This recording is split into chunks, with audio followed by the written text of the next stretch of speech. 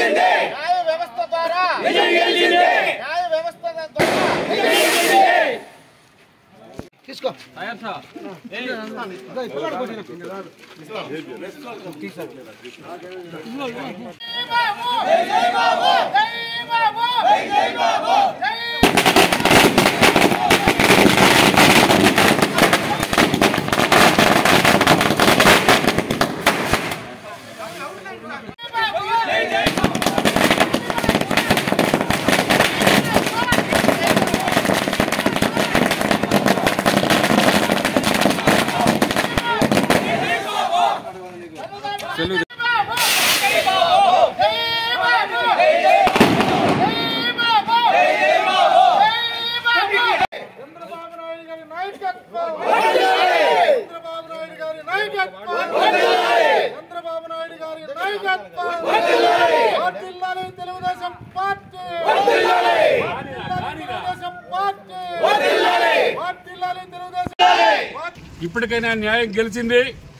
ఇప్పటి వరకు యాభై మూడు రోజులు ఆయన కోసం పోరాటం సాగించిన తెలుగుదేశం పార్టీ శ్రేణులు శ్రేణులకైతేనేమి అదేవిధంగా ప్రజలకైతేనేమి సహకరించిన మీడియా సోదరులకు అందరికైతేనేమి ఈ నిజం గెలిచినందుకు ప్రత్యేక ధన్యవాదాలు తెలియజేసుకుంటున్నాను.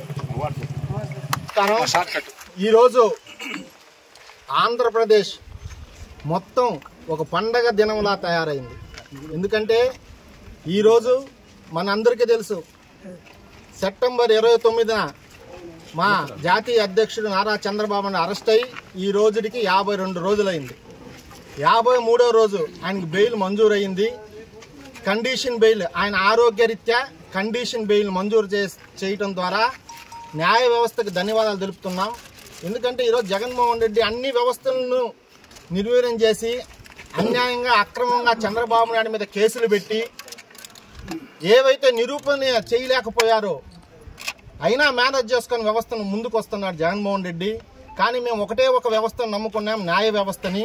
ఈరోజు న్యాయ వ్యవస్థ మాకు న్యాయం చేసింది. నవంబర్ ఇరవై ఎనిమిది దాకా ఆయనకి బెయిల్ మంజూరు చేసింది. దాని తర్వాత కూడా రెగ్యులర్ బెయిల్ నవంబర్ తొమ్మిది ఉంది సుప్రీంకోర్టులో. అది కూడా మాకు అనుకూలంగా వస్తుందని వస్తాదని మేము నమ్మిస్తున్నాం. ఎందుకంటే అన్యాయం అక్రమం ఎంతసేపు గెలవదు కాబట్టి. అదేవిధంగా ఈరోజు మా తెలుగుదేశం పార్టీ కురుగుండ రామకృష్ణ గారి ఆధ్వర్యంలో జిఎన్ఆర్ గారి ఆధ్వర్యంలో ఈరోజు వెంకటగిరిలో పట్టణ అధ్యక్షుడు లేడు రూరల్ అధ్యక్షుడు అదేవిధంగా డక్కిల అధ్యక్షుడు పట్టణ నాయకులు ప్రముఖులు అందరూ ఈరోజు మా పార్టీ ఆఫీస్ ముందు సంబరాలు జరుపుకుంటున్నాం. కాబట్టి ఎప్పటికైనా నిజం గెలుస్తుంది న్యాయం గెలుస్తుంది అనే ఒకే ఒక నమ్మకం మీద మేము సుప్రీంకోర్టులో కాస్ట్ పిటిషన్ వేయటం జరిగింది. కానీ ఆయన ఆరోగ్యరీత్యా బాగలేదు కాబట్టి గత ఇరవై రోజుల నుంచే బెయిల్ మందు బెయిల్కి బెయిల్ వేయటం జరిగింది. ఇరవై మూడో రోజు బెయిల్ వచ్చింది. కాబట్టి ఇప్పటికైనా న్యాయం గెలుస్తుంది ధర్మం గెలుస్తుందని చట్టం తన పని తాను చేసుకోపోయినా న్యాయ వ్యవస్థ చంద్రబాబు నాయుడు న్యాయం చేసిందని తలుస్తూ ఈ ఈ అవకాశం ఇచ్చిన పెద్దలకు ధన్యవాదాలు చెప్తున్నాను